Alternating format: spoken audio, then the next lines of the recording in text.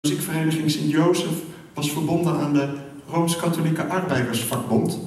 Uh, ja, dus, en ze repeteerden ook in het gebouw van de vakbond. Dus uh, ja, daarom heet de mars de Bondsmars. En daarna spelen wij een mars van de Amerikaanse Marsenkoning. En dat is natuurlijk...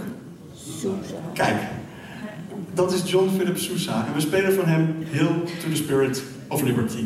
Maar eerst de Bondsmars.